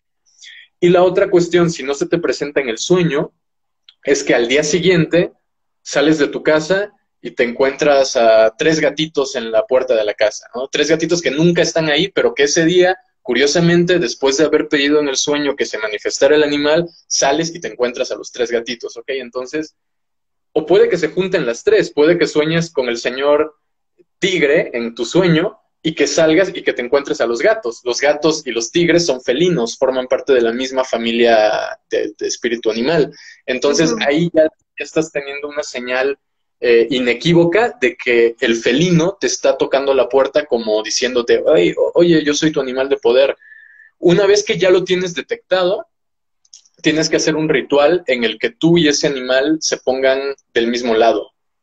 En ese, en ese ritual, ese ritual también varía de tradición en tradición, pero esencialmente eh, tú tienes que invitar a una especie de duelo o combate a ese animal, pero es un duelo amistoso, es más bien como, como en la película Avatar, cuando el personaje de Avatar tiene que aprender a, tomar a este, este, animal que era como el, equivalente de un caballo y los dos tienen que hacer una conexión y tal, es básicamente lo mismo, ¿no? Tú tienes que hacer una conexión con este otro animal eh, venciéndolo en un combate, eh, un combate imaginado, visualizado es la palabra correcta, no imaginado, visualizado. Te proyectas en este combate, proyectas el espíritu del animal, combaten y al final, una vez que lo logras vencer sin hacerle daño, obviamente, ese animal pasa a estar de tu lado y él te empieza a mandar a los demás animales que, van a formar parte de tu equipo. Él te va a mandar al, al oso o al lobo o al, animal que haga falta de acuerdo a tu resultado, al, resultado que quieres alcanzar como persona. O sea, si eres una persona que tiene eh, un mal carácter y lo que tiene que lograr es mejorar su carácter, lo más probable es que te envíe a un animal con características que hagan referencia a eh, la tranquilidad, a, la compañía, al apoyo, eh, en fin, te el universo te manda animales que son acorde a la energía que tú estás emanando todo el tiempo. Entonces, mi, consejo sería, no se rompan la cabeza tratando de conectar a todos sus animales de poder, hagan un primer esfuerzo en contactar al animal líder y una vez que lo hayan contactado y hayan hecho el ritual para que ese animal esté de su lado, él solito va a empezar a traerles a los demás animales. Al menos es lo que yo he podido corroborar también en experiencia personal. Súper, y como dicen, o sea, eso es cierto porque también funcionan como arquetipos, ¿no? O sea, ¿qué tipo de energía arquetípica estás llamando representada en el reino animal? No necesariamente en dioses, en diosas, ¿no? Entonces, eso, dense la tarea, no se olviden que como aquí nos cuenta Ibra, o sea, todo trabajo mágico y búsqueda, ¿no? Más que todo de guías o reencuentro, por así llamarlo, es eso, es algo que hay que buscar, ¿no? No, hay muy poca gente, bueno, no sé si muy poca debe haber nomás, pero que yo conozca que como dices, tienen estas, o sea, de una se sueña y ya saben, o desde chiquitos han reconocido, ¿no? A mí me ha pasado eso que tú contabas, Ibra, ¿no? O sea, el tema de cuál es mi animal de poder, hace unos dos años buscando, a ver, ya para hacer rituales, y me he dado cuenta a las, al mes, ¿no? Que lo dejé porque no me contactaba y no me contactaba, ordenando mi closet y mi altar y todo, que los búhos están ahí, o sea, tengo joyería de búhos, tengo poleras de búhos, tengo mochilas de búhos, ¿no? Y están ahí desde que soy pequeña. Entonces, para mí ha sido ese, ajá, eres tú, ¿no? O sea, puede ser que eres tú. Entonces, justamente he hecho una meditación. Mal mágico, el búho es símbolo de la bruja, ¿sabes? O sea, el arquetipo es clarísimo, ¿no? Sí, pues y es, es hermoso, y yo no lo sabía, ¿no? En la conexión, cuando me he dado cuenta de que había esta, o sea, esta, esta figura, recién pude hacer las meditaciones y todo lo necesario y me di cuenta justamente del poder, porque es bien interesante cuando contactan al animal y luego lo van leyendo, ¿no? O sea, la historia, qué son sus poderes, sus arquetipos y se dan cuenta, como dice Libra, que muchas veces coincide con quiénes son ustedes como persona, así de la nada, digamos, ¿no? Entonces, es un evento hermoso y ahí yo les recomiendo, y seguro Libre igual, ¿no? Que se den el tiempo de buscar esto si les interesa, descubrir su tótem de poder, porque es fantástico. Ok, entonces pasaremos a la siguiente pregunta, que es, nos dicen, esta pregunta es interesante también, nos dicen si es posible eh, lograr la metaprogramación, lo que nos hablabas, ¿no? Del cerebro, tocando fondo, nos han preguntado. O sea, que me imagino que lo interpretan como en un estado emocional o psicológico demasiado oscuro, ¿no? Por así llamarlo. Y si es posible lograr esto de manera inherente, por el sufrimiento, tal vez, me imagino que se refieren, o no sé qué piensas tú, Ibra. Sí, de hecho, de hecho los budistas tibetanos, ellos hablan de diferentes vías de liberación. La primera vía de liberación, ellos, ellos la, la, asumen, la relacionan mucho a la invocación, a las palabras que tú pronuncias todo el día se convierten en, en, la vía por la que tú te liberas. O sea, te comprometes con las palabras que salen de tu boca.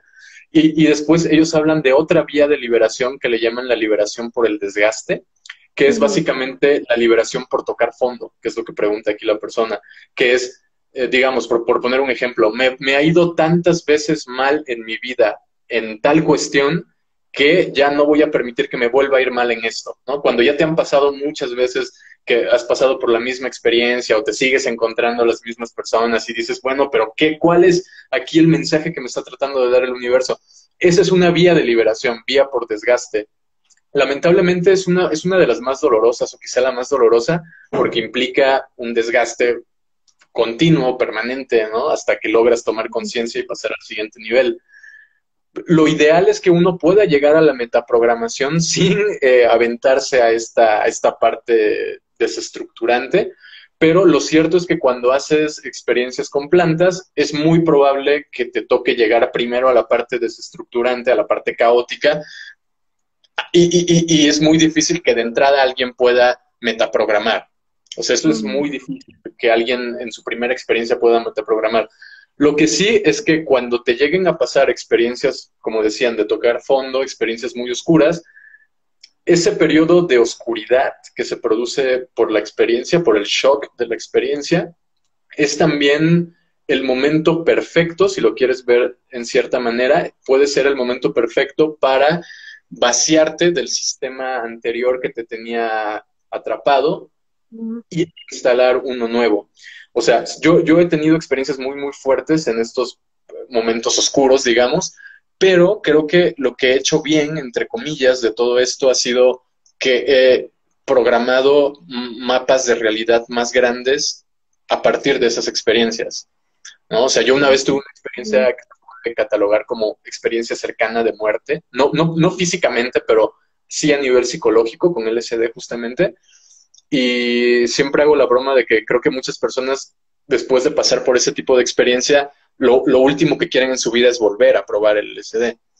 Y, yo quizá habría sido de esas personas, pero la diferencia fue que a partir de, esa experiencia tan choqueante, rediseñé mi, mi mapa de realidad, de forma que esa experiencia ya no parecía algo loco, que no tenía sentido, sino que yo le hacía un significado en la narrativa de mi vida, en la narrativa de mi búsqueda mágica. Esa experiencia tiene un porqué y tiene un para qué.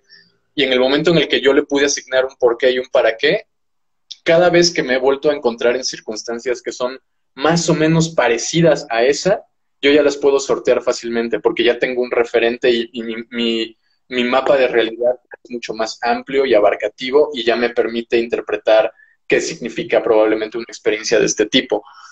Pero, pero porque pude utilizar ese momento oscuro para reprogramarlo.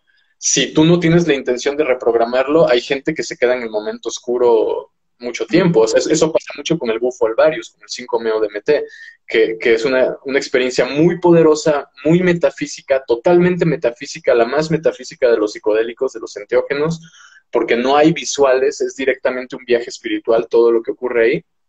Pero por eso mismo, cuando regresas a este mundo, no puedes entender qué es lo que pasó, no puedes entender qué significa, porque no tienes una referencia que te diga que a dónde fuiste, qué fue lo que experimentaste, qué significa haber estado ahí, para qué estuviste ahí, cómo integras eso en tu vida. No tienes ningún referente, entonces mucha gente termina más eh, desconcertada que, que, orientada por, esta, por ese tipo de circunstancias.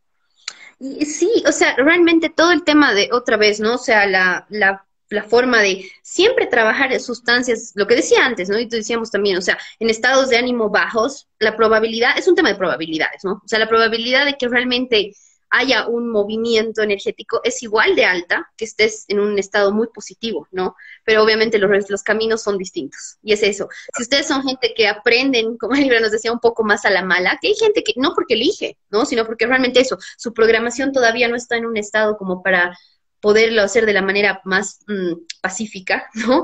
Entonces también tienen que estar listos, estar listas para saber que pueden tener una experiencia oscura, ¿no? Y como decíamos, tomar previsiones antes. O sea, realmente no se dejen, no crean que hay casos, ¿no? Tú has debido conocer gente, yo conozco gente cercana de que una vez han consumido algún psicodélico y se han ido, y a eso me refiero con psicosis, esquizofrenia, no hay vuelta atrás, ¿no? Te quedas en el cuento y es gente que realmente enloquece, como se le dice, ¿no? Y pasa un montón. Pero ahí también hay muchos factores, ¿no? O sea, no es gente que realmente, como decía, desde factores genéticos, de neurotransmisores, hasta factores espirituales, ¿no? O sea, de traumas. Yo he visto en muchos estudios, también que estaba leyendo hace un tiempo, el tema del trauma relacionado a los psicodélicos, ¿no? O sea, cuando una persona ha sufrido mucho abuso, por ejemplo, ¿no? De cualquier manera, sexual, psicológico, violento, físico, eh, las experiencias con psicodélicos tienden a sacar eso a la luz mucho más fácil, obviamente, ¿no? Entonces, yo siempre también recomiendo que sea más un tema de trabajo, tanto personal, o sea, dirigir la línea de tu trabajo de sanación personal, con los psicodélicos, ¿no? Si es que alguna vez se da, si quieren hacerlo, pero no basen solamente a veces hay gente, ¿no? Es que busca, se va a tomar ayahuasca al Perú, porque eso, tienen un trauma, pero en vuelta a casa no, no van al terapeuta, no deciden hablar de esto, ¿no? Entonces invierten todo su tiempo porque el espíritu está en la planta y esto, pero la gente no sabe. Entonces es como también desprestigiar, creo yo, ¿no? O sea, energías, como saber lo que, la sanación es holística, ¿no? Y ahora estamos, tú debes saber, Ibra, ¿no? Que yo también soy muy afín y estoy estudiando psicología transpersonal, o sea, de eso habla la psicología transpersonal, ¿no? De que hoy por hoy la, sanación mental es energética per se, siempre ha sido, pero ahora se está empezando a reconocer de manera más científica, ¿no? Entonces, eso es muy bueno para todos nosotros. Creo que ahora es un momento excelente para estar vivos de muchas formas, ¿no? Pero especialmente con el, tema de los psicodélicos, que a pesar que todavía son ilegales en muchos países, ya existe como en Alemania un centro especializado del trabajo con psicodélicos y psicología y psiquiatría, por ejemplo, ¿no? Muy reconocido. Y lo que ustedes están haciendo igual a nivel Latinoamérica es excelente. Entonces vean que ahora también para nosotros, o sea, ya no puedo, creo que yo decir ahora, ah, me he tomado esto y no sabía, es así como, o sea, desde el Internet, ¿no? O sea, no podemos decir, eso es demasiado responsable, ¿no? Entonces también háganse cargo de su consumo y no es como que simplemente, allá no, yo no sé porque no conozco y listo, tenemos Google, tenemos gente, tenemos así todo, ¿no? Ok, entonces pasaremos a la siguiente pregunta que es súper interesante, no sé si conoces allá en México, el N... ¿Te parece si hacemos una pregunta más y me tendría yo que retirar porque sí tengo que hacer algo por acá y con muchísimo oh, gusto una, una segunda sesión o las que hagan falta? Súper libre, no, más bien gracias por tu tiempo. Sí, aquí nos, me olvidó decirte que nos solemos extender un montón, porque, pero yo creo que vamos a tener que hacer otra sesión. Pero entonces acabaremos esta, eh, las otras preguntas las vamos a tener ahí fijadas también. Pero, ¿qué? ¿Conoces tú el N-Bomb? El N51NBO, que es un, es como una versión trucha del LSD, ¿no? Que aquí se le dice un tóxico, que en teoría aquí nos decían igual que como que es el LSD anfetaminizado que yo la verdad nunca había escuchado de eso, ¿no? Es una sustancia que se usa como análoga del, del, LSD. Exacto. Entonces, ¿qué tú, eso, si es una análoga, ¿la recomiendas? ¿Cómo se la trabaja? ¿Es algo que está bueno consumir? ¿Es que existe o realmente hay que evitarla? Siempre, siempre hay que tener mucho cuidado de que lo que uno consume sea en verdad lo que uno cree que está consumiendo. El, el N-bomb no es que sea malo en sí mismo. El tema es que eh, es malo cuando se te hace pasar por LSD y tú vas pensando en tener el efecto del LSD y de pronto eh, te metiste esta sustancia que tiene un efecto más potente que el LSD, entonces puede llegar a ser muy, muy eh, desconcertante. Eso por un lado. Por otro lado, la, el factor de la dosis de letalidad. La dosis de letalidad del N-bomb es mucho más baja que, o sea, necesitas menos N-bomb para darte una dosis letal que LSD. Mm. Entonces, con N-bomb se han llegado a registrar casos de personas que han tenido muerte súbita. Entonces, es una sustancia muy peligrosa, no porque el N-bomb sea peligroso, sino porque, vuelvo a repetir, porque se te hace pasar por LSD y entonces mm. condiciones físicas, cardiopatías, eh, tendencias a una psicopatología, una esquizofrenia, cosas así, eh, pueden ser eh, horribles con el, con el tema del N-bomb. Por eso siempre lo mejor en este caso es eh, que las personas puedan testear qué sustancia tienen. Se venden en internet reactivos para poder testear y tú ya tienes toda la seguridad del mundo para saber qué sustancia es la que te estás metiendo. Entonces, el N-Bomb no, con un, cuidando el set y cuidando el setting puedes tener, y la dosis, por supuesto, puedes tener una buena experiencia, me han, me han contado varias personas, pero el tema es que cuando tú estás esperando el SD y te dan N-Bomb, pues ahí ya aparecen los peligros. Claro, eso, ¿no? O sea, cualquier cosa que consuman, sepan eso, qué están consumiendo, ¿no? Lo posible. Por eso es tan bueno tener relaciones realmente comunitarias con incluso productores nacionales, si es que hay, ¿no? O sea, poder visitar, por ejemplo, en el caso de la marihuana, los lugares donde la plantan, saber cómo está creciendo, porque son seres vivos, ¿no? No se olviden. Entonces yo creo que son como animalitos y personas que hay que saberlos también. Si les das amor y un cuidado desde el inicio de la semilla, por ejemplo, cambia, ¿no? O sea, la misma planta tiene otra vibración. Entonces, es preferible saber eso, ¿no? O sea, de tu dealer de confianza, por así decirlo, versus que la marihuana te llegó prensada de Ecuador y, buena suerte, digamos, ¿no? O sea, ¿de dónde estará llegando? Pero bueno, bueno, Ibra, entonces nos han quedado como 15 preguntas, creo, pendientes, así que vamos a tener que hacer otro live. Ojalá pueda ser la próxima semana, en dos semanas, ya nos vamos a estar organizando pero realmente es un tema que abarca un montón y creo que hay tantas preguntas porque la gente aquí se ha dado cuenta del conocimiento que tienes y otra vez te agradezco un montón. Entonces, nada, Ibra, muchas gracias por estar ahora con nosotros, de verdad es un honor, un placer compartir em, igual conocimiento a nivel Latinoamérica, ¿no? O sea, juntarnos entre colegas y gente del mundo mágico, del mundo de los psiconautas, de todo esto. Y gracias porque creo que mucha gente ha quedado aquí clara con muchas cosas que teníamos pendientes. Entonces, bueno, no sé si tienes algo que decirnos también. Pues gracias a ti de nuevo. Eh, me ha encantado aquí compartir este rato con tu auditorio. Vi algunas preguntas muy, muy buenas. De verdad, déjamelas ahí guardadas para, para aventarnos otro, otro live la siguiente semana y darle continuidad a esto para, sí, para que esta información se, se difunda. Eh, solamente hacerles la invitación que nos sigan en Mindsurf eh, para que puedan estar ahí también al tanto de nuestras actividades, nuestro círculo de estudios donde tenemos alumnos de toda Latinoamérica, nuestras conferencias, nuestro podcast en YouTube, eh, en fin, ahí en nuestra plataforma van a encontrar infinidad de material si les gustó lo que estuvimos hablando estas horas. Eso, búsquense investigar, también es bueno. Bueno, pues sí, Bragas, entonces yo ahorita antes te voy a despedir, me voy a quedar un rato más para hacer publicidad esta semana igual, y te agradezco una vez más por, por tu tiempo, por tu conocimiento, y ya nos vemos la próxima semana, ojalá. Claro que sí, es mutuo, nos vemos. Que estés bien, Ibra.